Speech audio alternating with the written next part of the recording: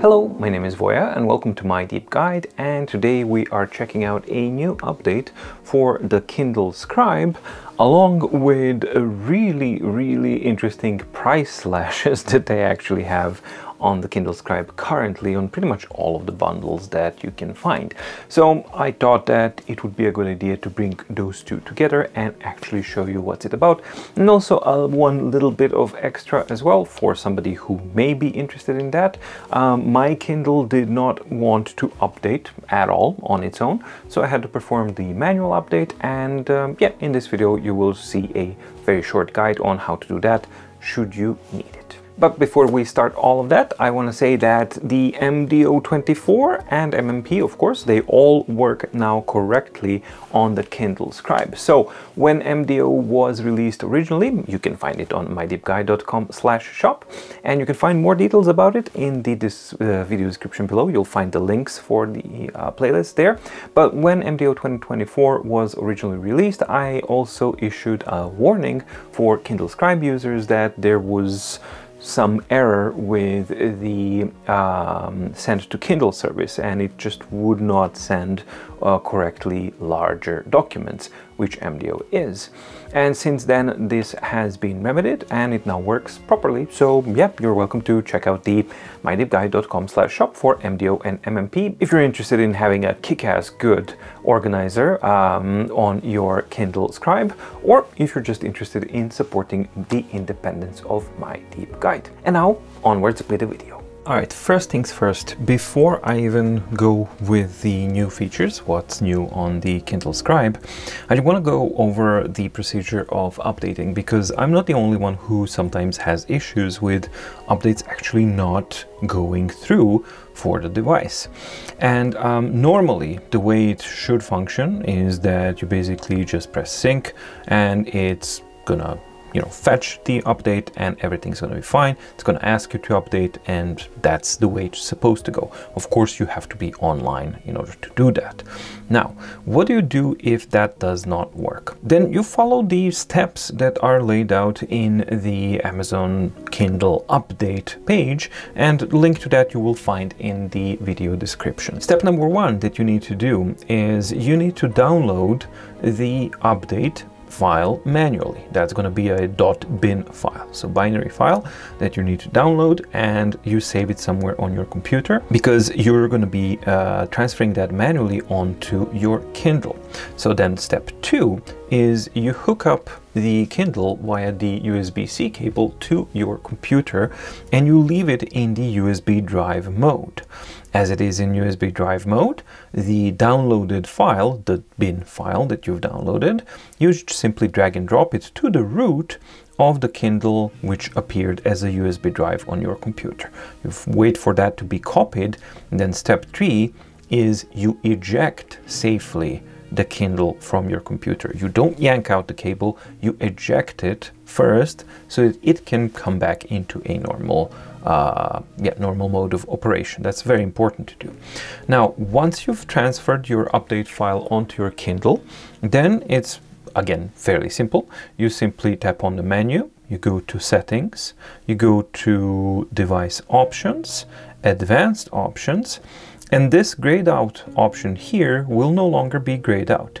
Once you have a firmware in the root, if the Kindle recognizes it, it will enable this option and then you will be able to just simply tap update your Kindle and the update procedure will go as normally. All right, so there hasn't been too many dramatic things, at least on paper. It looks like there's not too many dramatic things uh, that have been added to Kindle. So let's go through the mundane ones uh, first, as they've actually also listed them. They've saved the best for last. So the first one is, yeah, talk about mundane. In your library, the collections that you make, you can now watch them in list mode definitely useful, but holy moly, talk about a low bar for calling something a feature.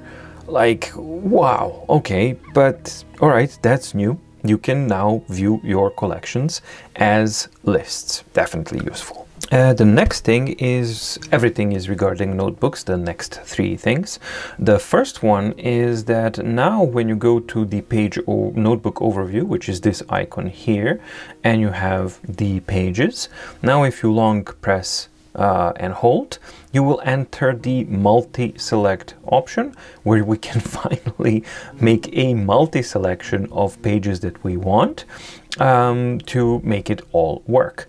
Uh, this works almost great, except that it lacks one obvious thing. Uh, anyone cares to take a guess? What? Select all. We don't have an option to select all. If you're implementing something completeness is the name of, of the game and yeah there's definitely no reason why you wouldn't have select all option in a multi-select feature and functionality. From the multi-selection option, you can actually delete the selection, you can move the selected pages, and you can share the selected pages. What you can also do is you can add an in, uh, uh, uh, insert an empty page and the way that it actually works is it inserts it after the selected pages, right? So it's going to look at the last one. Oh no, that's... What? That was very strange. So this is this is supposed to work if I add a page. Yes, it adds after the selection. But if you have multiple pages selected, it should add on next to this one. No, I don't want to delete, I want to add. But it's going to it's going to do the same procedure for every selection. It just has a for loop. So basically for each item that's selected, add a blank page after it.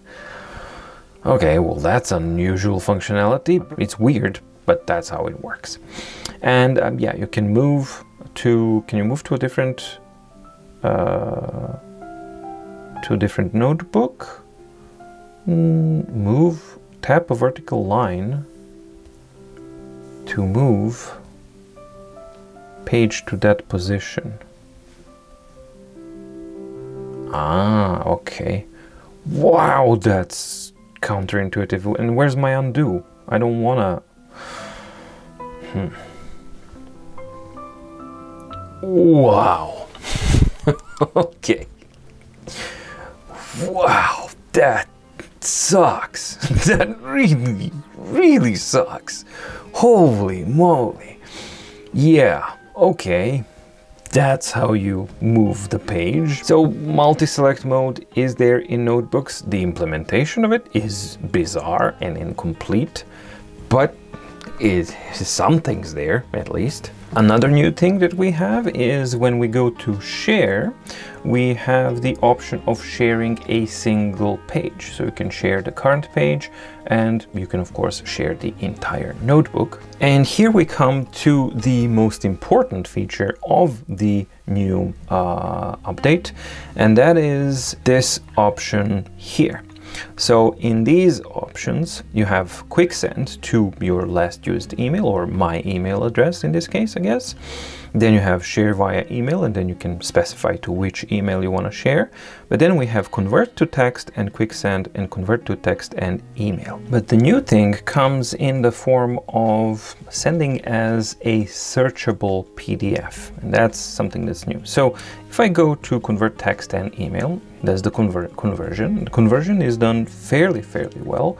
Not really, not excellent. It didn't understand the Note Air 3C. It couldn't understand the 3 number, so it was just going like, is it an S? Is it a B? No, it's a 3. And it didn't get the parentheses here. So everything else, it was actually able to do it quite well.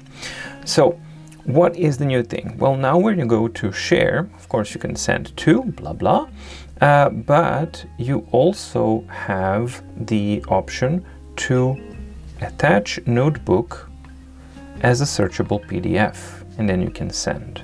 And that is actually pretty cool. For that we need to get over to the computers for you to actually see it. All right, so let's start with checking out how the regular notebook is normally uh, exported.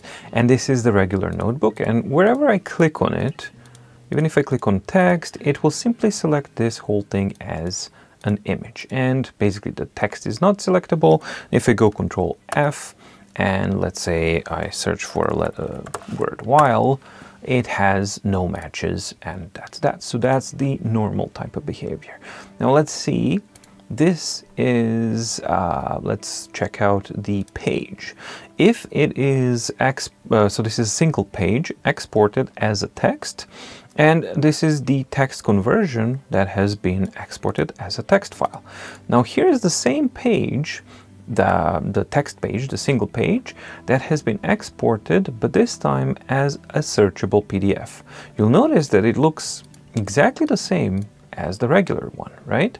And if I click on an empty patch, it will behave the same. However, the cursor changes as soon as I hit the letters. You can see that we can actually select words here. Furthermore, if I go Control F and I search for while and press enter, it is actually searchable which is absolutely fantastic. Now, when I look at the whole notebook, this is how a whole notebook looks like in a text format when you export it.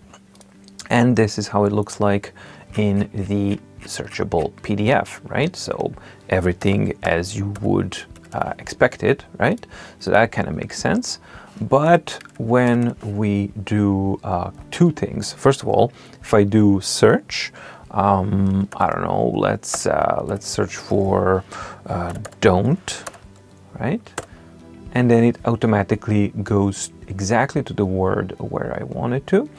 Um, or maybe, let's see, what do we have in here? Um, yeah, let's.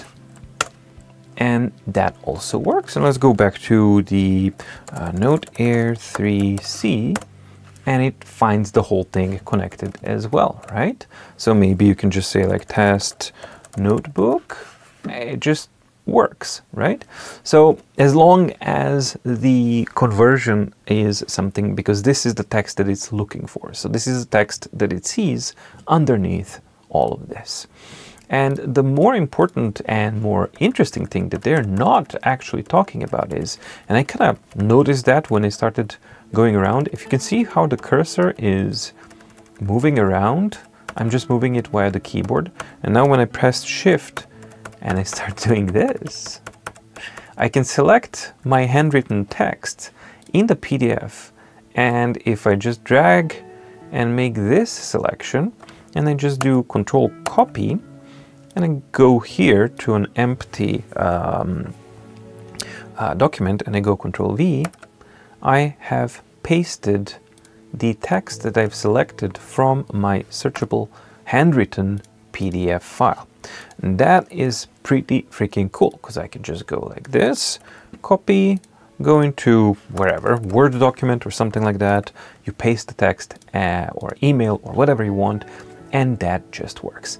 This is really, really real world usable type of functionality that I'm very, very happy to see somebody that has actually implemented it. And to be honest, nobody has that. Supernote doesn't have that, Remarkable doesn't have that, Boox doesn't have that, and here is one very, very important real world thing that, uh, yeah, Kindle Scribe is currently excelling at. Well, alright, on paper, um, the update seems like a very small kind of update, and they do start with like really tiny, tiny little things, but amongst those tiny little things, there is one feature that has been implemented on this, which is extremely useful and extremely, extremely good. Now, this is exactly the point that I'm trying to make when I'm saying that Remarkable has lost its direction and has lost track of the big picture.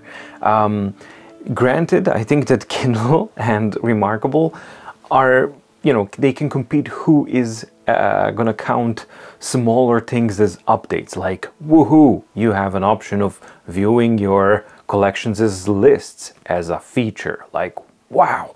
That is definitely remarkable level of things. However, since Remarkable released the Folio, I propose to you that they have lost the direction, that their developers have been distracted, or they have been, as a development team, have been distracted with the folio and the texting um, because they're not really focusing on things that matter and what it primarily is, and that is a digital paper replacement tablet kind of a thing. And I'm sorry, but right now, this thing that Kindle has with the ability to export as your handwritten PDF, but you can also like uh, select, you can search the words and you can just select and copy paste that into a document. That is absolutely freaking awesome. Now, the thing that's really not awesome with Kindle still is that the only way to actually share this awesomeness is via email. That is absolutely mind blowing to me that they're still completely locked into that whole thing and that you have the limitations of, yeah, well, the email limitations that you may have. So that's something that you definitely have to kind of keep in mind. But for regular type of use, I think that you won't have a problem with that. But, you know, with bigger stuff, definitely you will run into that limitation. So that's definitely something to keep in mind. However, this November 2023 update for the Kindle Scribe brings really, really relevant stuff and powerful stuff to the platform. Let me know in the comments down below what you think of it and what do you think of this whole functionality and should maybe Remarkable have been the first to actually have done this? I mean, they've been longer in the game, they've been more focused on the whole digital paper tablet thing, yet whoop, here comes, you know, Kindle, not even a full year in the game, and they've already figured stuff out that, uh, yeah, Remarkable hasn't figured out in six years. And that's, that's something to think about, at least for me. What do you guys think? Thank you so much for watching. If you liked the video, please like and subscribe and ding the notification bell in the description down below to get notified when new videos come out on my deep guide. Stay safe, stay healthy, and see you in the next video. Bye!